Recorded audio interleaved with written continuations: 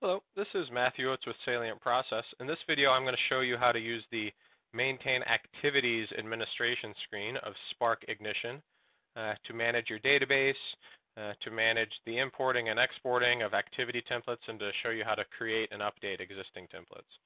I'm going to click on Maintain Activities over here. If you don't see these in your panel, uh, check down below with Show More or Show Less. If you click on this little icon here and press star, it'll bring things up uh, there. If you don't see any of these uh, options here, you're probably not in the right groups. So look in your Spark administration, uh, Spark Ignition administration app uh, to make sure you're in the right group so you can see these from the process portal.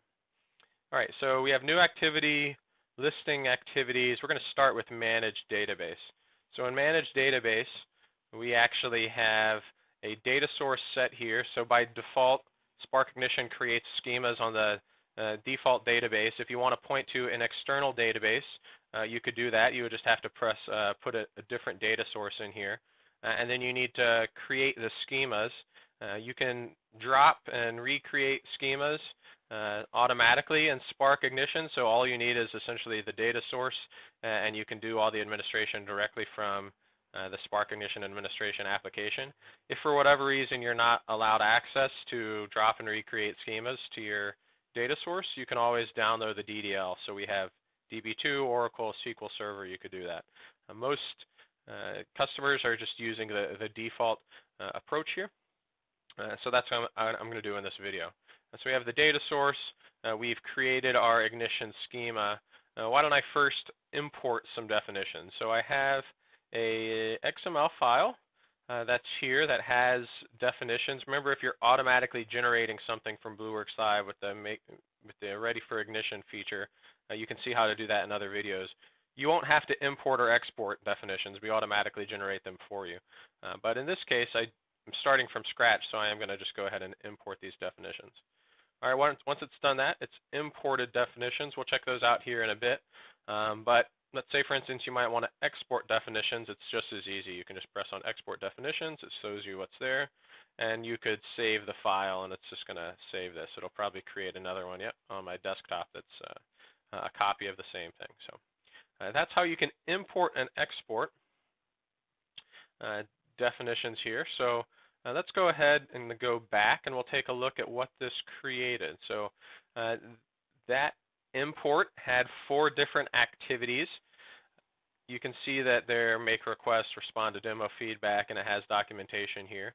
You can duplicate um, activities by pressing here. If you wanted to duplicate this, maybe rename it uh, so that you could have different activities that have similar information. You could do that if you need to. You can always reuse activity templates in multiple activities if you want to and you can remove activity templates here. So uh, why don't I start with uh, updating this definition.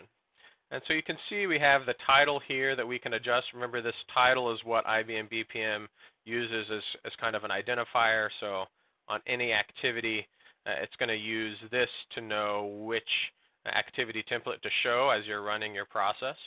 You can have rich text documentation here. Uh, Spark Ignition activities by default allow you to have five uh, preset outcomes. Uh, so if we take a look at the preview here, we can see what that means. If we go down here, we can see uh, complete, cancel, postpone. Yep, those were the ones that we saw here. Uh, so we have this nice built-in preview to see how this works. Uh, you can have suggestions as uh, anonymous, tracked, or not allowed. Uh, suggestions are actually going to be in, in, another video. We'll see how suggestions work uh, with this view suggestions administration. Uh, so definitely check out the other video for that. To go down to references, uh, we can create you know new references. So maybe I want to have the salient process home page. I could do that, and I could say uh, this is the main site for salient process and maybe I'll go here salientprocess.com.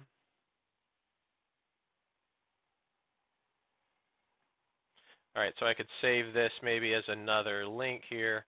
I'll type that in. I can even test this immediately, so it lets me know. Um, I can open it in a new window.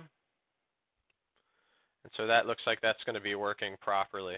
Uh, might go ahead and save that. So it's going to save all of this information. And now when I preview, I'll see now that any um, end user who uses this request the demo make request uh, step is going to have a new um, link here to, to get information about salient process. If we look at to-dos, so to-dos have names, descriptions. We can indicate whether something's required or optional. We can also add additional documentation. Uh, so if we look at a preview here and I look at this to-do, you can see that this is now required and it has some extra documentation here and we have you know the standard options here. Let's say I wanted to make this uh, optional, I could do that. And then if I look at the preview, I could say, you know what, now this looks like it's optional. So it's a really nice, easy way to preview what the end user view will be to, to your customers as you're maintaining these uh, activities. So I'm going to go ahead and turn that back to required. We can also turn document support on and off. What this is going to do is allow us to, on a particular activity, have the end user upload documents to the BPM document store.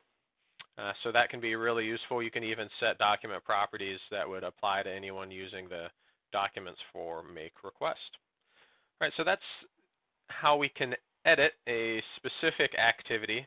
Uh, if we want to create a new activity, I could just do this. So I could say example uh, activity here. So I could do that. Once this creates it, it's going to add to the list and it lets me add to-dos. If I try to press save, uh, it's going to actually uh, save this for me and I'm going to, you know I what, it defaulted to postpone and complete. I think that's good. Uh, you know but I, I might want a to-do here. So I'm going to have, you know, my to-do one. And then I can say this is a description right? And so I can set these types of things. I can save this.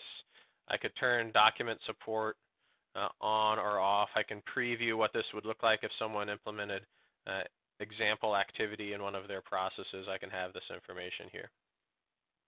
Uh, and you can see that when I go back to my list of activities, you can have this here. This indicates that it, this would apply to any activity. So when you create something from scratch, uh, you can specify uh, by just having the name there, you're specifying that it can be uh, used in any other process application.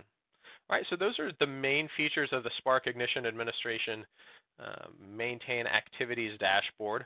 Uh, check out the other video if you want to learn more about view suggestions or if you want to generate all of these activity information uh, for you, you can look at the video about how you generate IBM BPM apps from BlueWorks Live.